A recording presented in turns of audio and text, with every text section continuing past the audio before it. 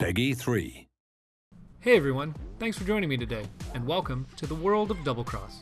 In this game, you play as Zahra, a Rift agent responsible for investigating interdimensional crimes and disturbances found throughout the multiverse.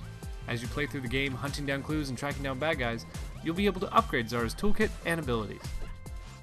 My name is Tom, lead designer here at 13am Games, and in this video, I'll be giving you the rundown of exactly how to unlock these upgrades and tailor them to your playstyle. Let's get into it.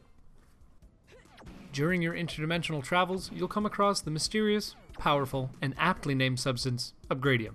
That's right, Upgradium. These floating purple crystals of raw energy can be found everywhere, sometimes in plain sight, sometimes behind a group of enemies, and sometimes hidden deep in a mission's nooks and crannies. The amount of Upgradium in each mission can be seen in both the mission select screen as well as the pause menu during a mission.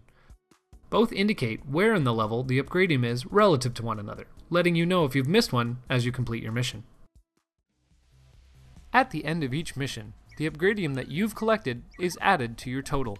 Once you've collected enough, Zahra will level up and new upgrades will become unlocked. The higher the level, the more game changing the upgrades become.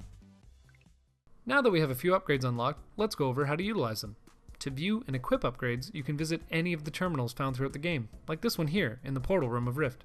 You can even change your loadout mid-level if you feel your current one isn't working out for you, or if you're trying to plan an optimal route through a mission you're having a hard time with. Once you reach a terminal and interact with it, you'll see that your upgrades are split into two types, equipables and permanents. Equipables do things that enhance Zahra's toolkit, for example, giving her more energy or granting her a temporary shield. Up to three of these can be equipped at any time and in any combination. You can try mixing and matching to find out what suits your playstyle the best. Permanents upgrade Zahra's combat abilities and increase her overall health. As the name implies, once they are unlocked, you will have access to them at all times. To demonstrate some of these upgrades, I'll go through three different examples in action. First, we have the shield. This upgrade will grant you a regenerating shield that will absorb one incoming attack, as seen here as this Rex tries to chomp down on Zahra. Second, we have the energy radar. This upgrade causes the energy orbs dropped by defeated enemies to attract directly towards Zahra. This ensures you don't miss any of the valuable resource as you combat large amounts of enemies in large spaces. Lastly, we have Healing Factor. This upgrade increases how quickly you can recover your health while healing. Very important for keeping on the move while keeping healthy. And that's all there is to it. Let's recap the three main points. Number one, find and collect Upgradium scattered throughout the missions of your investigation.